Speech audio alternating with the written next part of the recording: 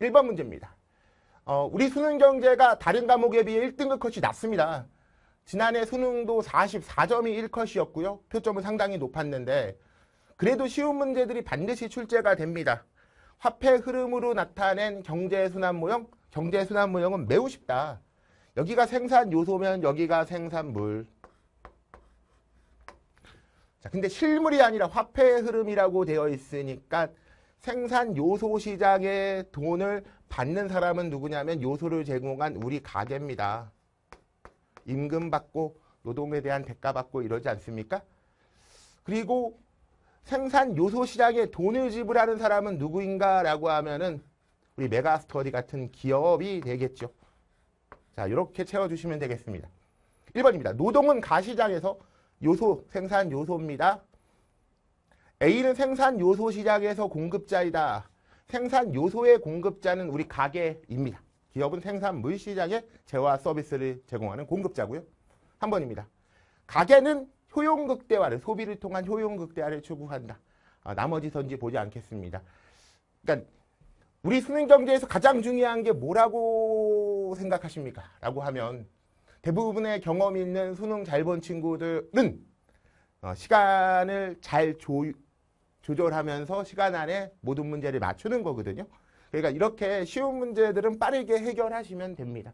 그래서 한번 답은 이렇게 너무 쉬운 문제고 반드시 한 문제 1단원에서 출제되는 경제순환 모형이었습니다. 자, 2번입니다. 얘는 5단원 파트고요. 금융 파트에서 금융상품 문제가 한 문제씩 반드시 출제가 됩니다.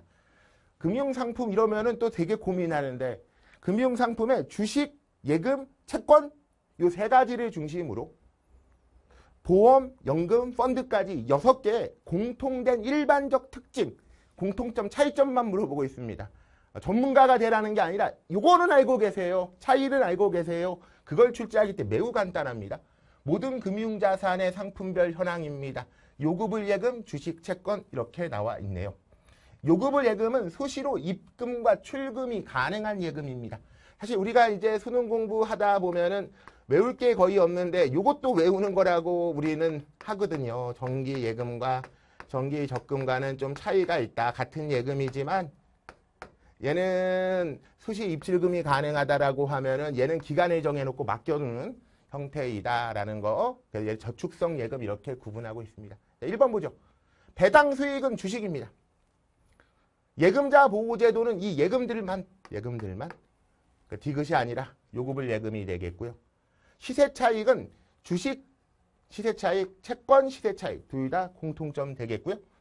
만기가 있는 상품의 총액은 자, 예금은 예금인데 요구불 예금은 만기가 없고 언제든 찾고 어, 예금하고 하, 가능한 부분이에요. 지금 미리 적어놨던 이 정기 예적금이 기간을 정해놓는 만기가 있는 상품이 되겠고요. 어, 주식은 만기가 없습니다. 음. 채권은 만기가 있, 돈 빌려준 증서거든. 돈 빌려준 사람은 만기가 있어서 이자를 받아야죠. 주식회사는 영속해야 됩니다. 메가스터디가 어? 가장 높은 분이 사라진다고 해서 멈추면 안 되지 않겠습니까? 예, 계속 영속돼야 되니까요. 예, 그래서 만기가 있는 상품의 총액은 여기 여기 있네요. 예, 200입니다. 200. 이자 수익을 기대할 수 예금에 대한 이자가 붙고요. 채권에 대한 이자 돈을 빌려줬으니까 합하면 얼마? 700. 네, 아주 쉽게 눈으로도 확인이 되는 이번 답은 5번 되겠습니다. 금융상품 5단원, 1단원의 경제순환 모형 항상 쉽게 출제되는 그냥 주는 문제입니다. 아까 보셨는데 3등급 컷이 22점이에요. 22점. 예, 10개만 맞으면 3등급은 받아. 음, 얼마나 쉬운 문제들이 많은가 봐 이제. 자, 3번입니다. 자, 2단원 문제가 출제가 되었군요. 우리 수능 경제 핵심이죠. 수요와 공급이 그리고 균형이 만들어지는 각국의 X제 가격별 공급량과 수요량 일부 X제는 시장 균형에서 거래되고 있으며 자, 균형이라는 말은 우리 수능 경제 특히 2단원에서 가장 중요한 부분입니다. 특정 가격에서 사려는 양과 팔려는 양이 같은 부분 균형 여기네요. 균형 이렇게 됩니다. 그런데 가격의 상한을 정하는 가격이 위로 올라가는 한도 요거에 동일한 표현이 최저 가 아, 최고 가격제가 되겠습니다. 최고 가격. 더 낮은 가격을 설정하는 거야. 그 낮은 가격을 얼마로 설정했나 보니까 2만 원으로 정부가 막아버린 겁니다. 그랬더니 공급량은 줄지요. 어, 가격이 떨어지면 공급자는 팔려고 하는 양이 줄어드는 거고요.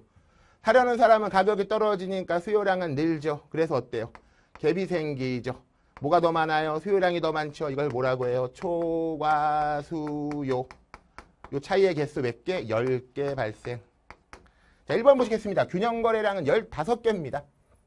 2번입니다. 기업을 시행하면 판매 수입은 가격 곱하기 거래량입니다. 가격 곱하기 거래량.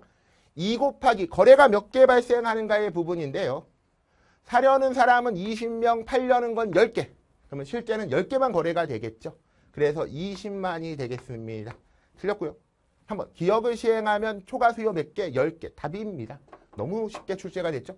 기억을 시행하면 공급량은 기획, 기억 시행 이전보다 5개 감소하고 있죠. 증가가 아닙니다.